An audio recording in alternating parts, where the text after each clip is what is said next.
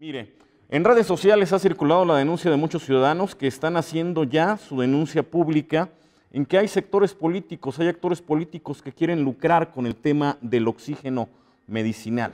Esto es lo que opinó hoy el gobernador del estado. Silvano exige no lucrar con el sufrimiento de la gente, esto luego de que a través de redes sociales estuviera condicionando supuestamente el uso de tanques oxígeno con fines electorales, por lo que el mandatario estatal exigió dejar de jugar con la salud de la gente. Primero, hacer un llamado, aprovecho para reiterar el llamado a que no lucremos con el sufrimiento de la gente, venga de quien venga, porque es, eh, pues, obvio que habrá quienes intenten hacer uso eh, tendencioso de la angustia y el sufrimiento de mucha gente en este momento donde eh, los insumos se han puesto muy escasos, principalmente el, oxígeno. No conozco yo la nota, te confieso, pero es muy, muy polémico.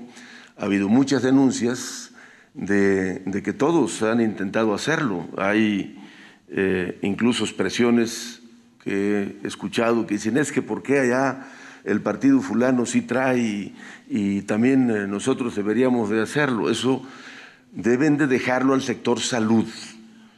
Tiene que ser la autoridad en salud y es eh, poco ético de quien lo haga que los partidos políticos, cualquiera que sea, quieran sacarle raja electoral a una situación tan crítica y de tanto sufrimiento de la gente.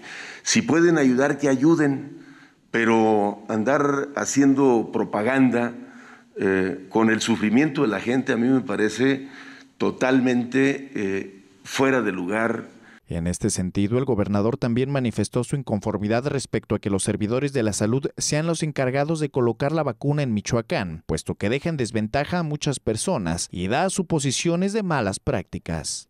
Por eso aquí también he reiterado yo, para ser parejos, que me parece un grave error que los eh, activistas de Morena, los llamados servidores de la nación, sean los que anden aplicando las vacunas, porque lo que estamos haciendo es, si unos lo hacen, ¿por qué los otros no?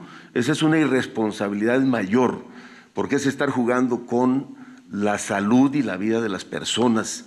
Y no se vale que por un interés estrictamente electoral y partidario, eh, hagan lo que sea, se lleven entre las patas a la gente y pongan en riesgo su vida. Yo no estoy de acuerdo con esas eh, prácticas, eh, las condeno, las rechazo y vamos a estar muy al pendiente de lo que suceda y seguramente vamos a platicar ese tema en la mesa, se llama mesa de gobernabilidad porque nosotros no vemos temas electorales, ni, sino más bien cómo ayudamos a que un proceso tan complejo como la elección concurrente del 6 de junio se desarrolle en las mejores condiciones y tiene muchos aristas.